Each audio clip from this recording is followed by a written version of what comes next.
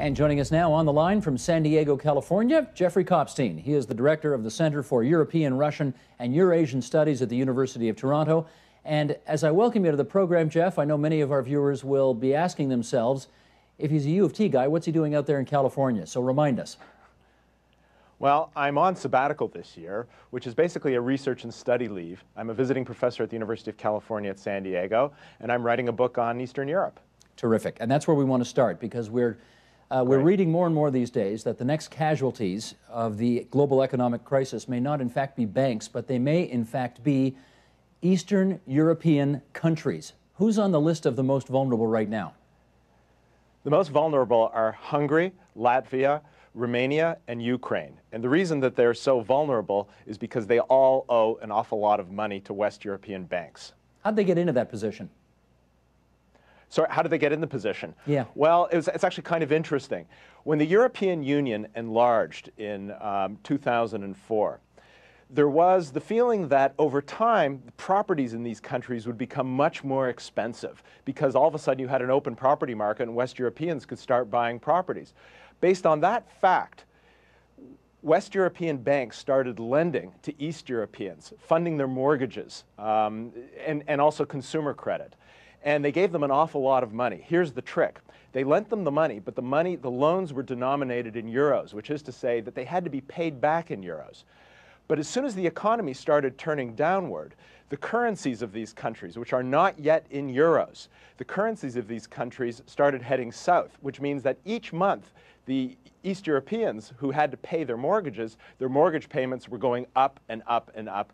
And you had, in a sense, in essence, what amounted to a kind of a, a foreclosure crisis, not too dissimilar, which is happening in other countries, including the one I'm in right now. Indeed. Uh, well, let's follow up with this then. I, I, guess the assumption is, or the hope is, among these Eastern European countries, that the richer Western European countries are going to come sort of riding over the hill and save the day. Is that in the cards? Yeah, well, I mean, initially, yes, they are getting some money from, from Western Europe. A couple weeks ago, Hungary went to, to the West Europeans and said, we need some serious money for the whole region. Our banks are heavily in debt and they're going to default. The West Europeans said back, said back to them, well, two things. First of all, the other East European countries said, like Poland, Slovakia, uh, Slovenia said, look, speak for yourself, Hungary. We're not in such a bad situation. As a matter of fact, we don't like being called Eastern Europe anymore. That's for you backward countries. For, for us, we can make it without the extra money. At that point, the West Europeans said, well, we're going to give money to Eastern Europe. But we're going to give it, and this was not an unsensible thing to say, we're going to give it on a case-by-case -case basis. That is, if Hungary needs some extra money, they've guaranteed Hungarian banks with, with uh, $20 billion. Uh, 20 billion euros, I should say. And they're going to do the same for Romania. And the IMF is stepping in with a big package for, for Ukraine. And of course, Latvia, where they've had anti-government protests, and a government has fallen, in fact, they've also um, guaranteed their banks with more money. The trick is this. The West European banks are so in hock, and especially, I should say, Austria. Austria is so in hock in Eastern Europe Right, that to the tune of 70% of their GDP. If the East Europeans default, Austria will default. Uh, not just Austrian banks, but Austria as a whole. And interestingly, that was the event um, in 1931 was the default of the uh, Viennese bank, the Kreditanstalt, in Eastern Europe, which caused a big economic downturn from 1929 to 31 to turn into the Great Depression, which lasted for the whole next decade. Well, you, you anticipated where I want to go, but I'm going to hold off on that a little bit because I do want to talk about, sure. um, uh, I, wa I want to get you to weigh in on two priorities which appear to be at play right now. They're saving the euro, which of course has gone down in value a great deal, or rescuing these right. Eastern European countries. Which do you think is a higher priority in, for example, Brussels, the, where the head of the EU is? Oh, that's a that's a really good question. I can't give you I can't give you a straight answer to that because they're fighting about it right now. I think that the, the, uh, I mean, if I had to choose between those two, I think they're going to go for saving, saving the euro. Because really, the euro is the signal achievement of the European Union, the creation of, of a currency union throughout what, is, what is now 17 countries. Two more East European countries, I should say, have joined, Slovakia and Slovenia. And to let the euro go would have gigantic consequences. And that, of course, explains why the West Europeans don't want to throw too much money at the East Europeans. Do you think Eastern Europe, excuse me, do you think European officials are regretting enlarging the European Union given what's transpired now? The easy answer to that is yes, and they won't actually ever tell you that. Um, but you have to, over let's say one or two glasses of wine, they will, they will, say, they will say two things. One is, we should have not let in all these countries at once. It's just too big to govern. We went from being 15 countries to 25 countries to 27 countries. That was too big. The other thing is that these countries are too poor. They're not ready. We had this huge achievement in Western Europe that we'd really attained after World War II by putting all of these, what were increasingly wealthy countries together. Now, I'm not sure that they're so right in saying this because, you know, no one expected the Europe, everyone thought of the European Union as a sort of club of the rich, a, a, huge trading club, a way of making sure that the French and the Germans never fought again. But really starting from the early 1980s, the European Union turned into something else. And what they figured out is that if they could hold open the prospect for getting into the European Union. They could take countries first, Greece, Spain, and Portugal, which were dictatorships, and say to them, look, if you guys are nice democracies, we'll let you into the European Union. And that worked so well that after communism fell in 1989, and you had all of these post-communist countries that everyone was worried that they would be unstable, they said to them, they said, look, if you guys stop fighting with each other, and you don't hammer on your minorities too much, and you're nice, good democracies, and you don't get in wars. And one more thing, you pass our 80,000 pages of European Union regulations into your national law, we're going to let you into the European Union. You've won the lottery of history. And this was a gigantic success. Right? All of these countries were very stable. The Hungarians stopped speaking of their poor languishing brothers in Slovakia and Romania, or at least they stopped, they started talking about it in very muted tones. Um, the Czechs and the Slovaks didn't fight. The Romanians were nice to their Hungarians, or at least as nice as they can be. And so this was kind of a huge success, uh, geopolitical success. What it's turned into, of course, is a big economic burden. A big economic burden, but would you say that it is now, um, does it have the potential to take back all of that progress that you just described? Yeah, of course, you know, it's, it, anything can happen in politics. Um, there is the potential, and this is starting to happen throughout Eastern Europe. You have um, um, what you might call populist right-wing parties, and they're really spread throughout the region. Now, of course, these exist in Western Europe too, but in Western Europe you have much more stable, long-term democratic institutions. Nobody thought that a place like, let's just use Hungary as a running example here. Hungary, which had never had a free and fair election in its history, in its history before 1990. Nobody ever thought before the day of EU enlargement that Hungary would be a stable democracy with, with huge economic growth. And that was really the story throughout the 1990s and until basically a year ago. Hungary was a giant success story. Now what you have in Hungary is a kind of blooming, um, let's call it right-wing extremist party. Right? It's one of them is it's called Jobbik.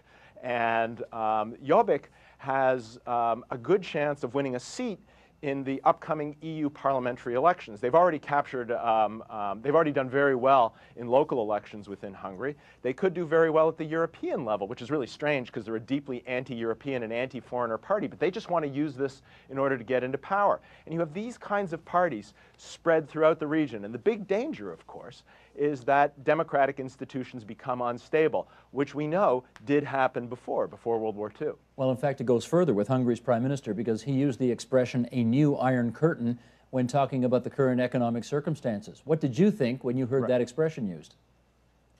Well, you know, obviously the, he was he was rolling out the heavy cannons there because the West Europeans don't want to be accused of a new Iron Curtain. I mean, the, the original Iron Curtain, of course, referred to um, referred to communism and the complete closing off of Eastern Europe from Western Europe. And I, I don't think we're going to go that far. I don't even think we're, we're a lot of things would have to transpire before that happened again, including um, the collapse of democracy throughout the region and a kind of the potential for contagion into Western Europe. And we're not even close to that point. But what is true is that at the core of the European Union lies a kind of uh, an agreement. And the agreement is one of solidarity. And let me explain what I mean by that. Within Canada, we know that there are these transfer payments between provinces. And the idea is that we don't allow the, really the poorest of the poor provinces or the poorest areas of the poorest provinces to fall below a certain level. And they have the same idea within the European Union. And that could work pretty well as long as the poorest areas were not too much poorer than the richer, richest areas. But now, of course, you've brought in these very poor countries, Romania, uh, Bulgaria, countries that are not only poor but have state institutions that are corrupt. And the question is, will there be enough money in order to sustain minimal social services, unemployment insurance, schooling, public health, for Romania and Bulgaria, money which is being transferred from West European taxpayers, from the Dutch, from the Germans. Well, if there's not enough money, I gather some observers are seeing two potential breaking points or two potential cleavages in Europe's future. One is the old kind of east-west divide. The other is, a, I guess, a, a, more updated the haves versus the have-nots. Do you see it? Do you see it one way or the other? Um, I don't think we're there yet in order to make a, a definitive decision.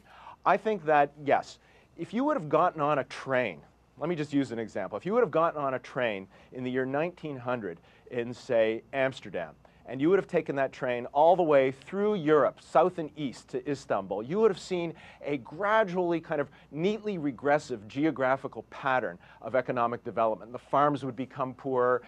Um, the, the technology used would be worse. The streets would be worse. The buildings would be worse. If you would take that same train today, everybody's at a higher level, but that same neatly regressive pattern of, of, of economic development, that still exists within Europe today. So the question is, is Europe, which we thought was going to be the case until about a year ago, was Europe going, is, is Europe going to have the capacity to take these poor countries, which, were, which are still new democracies, and raise them up to the level of the West? That has been called into question. And that was the bargain. That was what everybody in Eastern Europe was told was going to happen if they joined Western Europe. And now normal people like you and me who are paying mortgages, right? They're, they're saying, look, we've done everything we were told to do. We played by the rules of the game. And now look, look what's happening to us. We're getting the shaft. Do you think that there is a, a chunk of, um, I don't know, popular support or even government support in those Eastern European countries as they look further east for the kind of uh, Chinese authoritarian capitalism, which, you know, relatively speaking, has had great success out there. We're not there yet. Um, I keep on using that, but I think this is very important to keep in mind if there was a really appealing, successful, remember they still view themselves as Europeans. 1989, I mean, this was all, I mean, one point about this first. This is the 20th anniversary of the fall of communism. This was supposed to be a great celebration. It's the 10th anniversary since the enlargement of NATO, and it's the 5th anniversary since the enlargement of the European Union. And what this all tells us is the East Europeans always viewed this as a return to Europe, to European values, to European institutions the focus would no longer be Moscow, or as you're implying, Beijing. The focus would be Paris. The focus would be Berlin. And if there was an appealing set of alternative institutions, alternative orders out there, right, that European intellectuals could get excited about, that they could, let us use an extreme case, betray their countries for, in the way that Western European intellectuals betrayed their, their countries um, in the interwar period for, the, for communism and fascism.